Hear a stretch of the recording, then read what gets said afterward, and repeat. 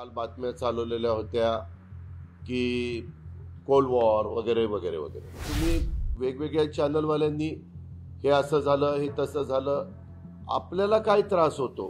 मला जरा दोन गोष्टी सांगायच्या. काय व्हायला लागलं? अलीकडच्या काळामध्ये पत्रकार इलेक्ट्रॉनिक मीडिया असेल प्रिंट मीडिया असेल माहिती न घेता बातम्या देतात त्याचं जरा वाईट वाटतं. असं नाही असलं पाहिजे.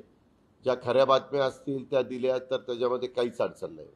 आता उदाहरणच द्यायचं म्हटलं तर काल बातम्या चालवलेल्या होत्या की कोल्ड वॉर वगैरे वगैरे वगैरे.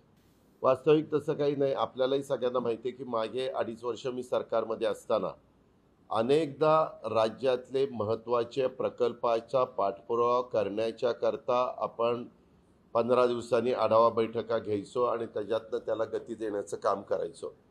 आताही आम्ही एकनाथराव शिंदेच्या नेतृत्वाखाली तिथं काम करतो. तिथं देवेंद्रजी आहेत मी आहेत आणि बाकीचं मंत्रिमंडळातील सहकारी आहेत. स्वतः एकनाथराव शिंदेंनी मुख्यमंत्री झाल्यानंतर ह्या सगळ्या कामाचा आढावा घेण्याच्या करता एक कमिटी केलेली आहे आणि त्याचा आढावा ते घेत असतात. मोपलवारला त्यांची जबाब त्या समितीची ज त्या कमिटीची जबाबदारी दिली.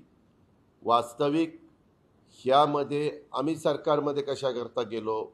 महाराष्ट्राचा विकास व्हावा म्हणून गेलो. लोकांचे प्रश्न सुटावेत म्हणून गेलो. वेगवेगळ्या प्रकारच्या अडचणी दूर व्हाव्यात म्हणून त्या ठिकाणी गेलो.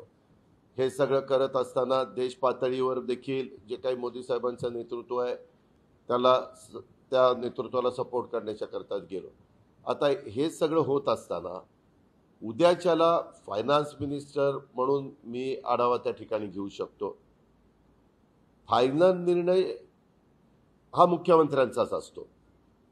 आणि मोपलवार पण कालच्या मिटिंगला होते. तुम्ही वेगवेगळ्या चॅनलवाल्यांनी हे असं झालं हे तसं झालं.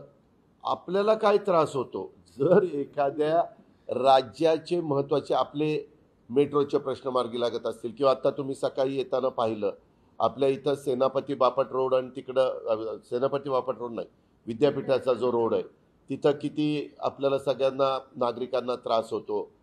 थोडंसं यंत्रणा हलवली. आज आम्ही अनेक त्याच्यातले पॉलिटेक्निकच्या संदर्भातल्या जागेचा प्रश्न असेल महावितरणच्या जागेचा प्रश्न असेल काही खाजगी लोकांच्या जागेचा प्रश्न असेल सगळ्यांनी बसल्यानंतर प्रश्न निकाली निघतात अडचणी समजतात निर्णय घेता येतात.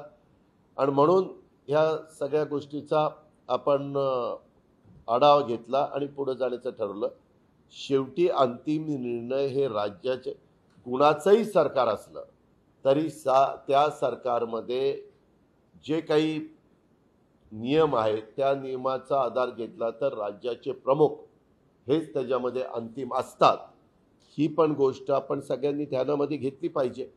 आणि त्याच्यामुळं विरोधी पक्षाचे नेते पण ते असं झालं ह्यांचं लक्ष इकडे. कुणाचं लक्ष कुठं आहे उलट कामं व्हावीत त्याच्याकरता आम्ही लक्ष देतो त्याच्यातनं वेगळे काहीतरी. तुम्ही बाबा कुठलं काम रखडलं तर आम्हाला सांगा की हे काम रखडलं आहे इथं अमुक अमुक केलं पाहिजे तर हे केलं पाहिजे. तर आम्ही त्याच्यामध्ये लक्ष देऊ ना. शेवटी आमचं कामच आहे की ह्या राज्याचा सर्वांगीण विकास व्हावा. ह्या राज्यातल्या वेगवेगळ्या शहरातले प्रश्न सुटून तिथल्या नागरिकांना एक समाधानाने राहता आलं पाहिजे जाता आलं पाहिजे. काम करता आलं पाहिजे व्यवसाय करता आले पाहिजे नोकरी व्यवसाय करता आले पाहिजे.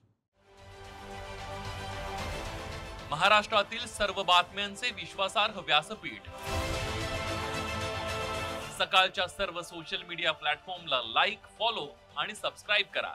तसंच सर्व नोटिफिकेशनसाठी बेल आयकॉन प्रेस करायला विसरू नका.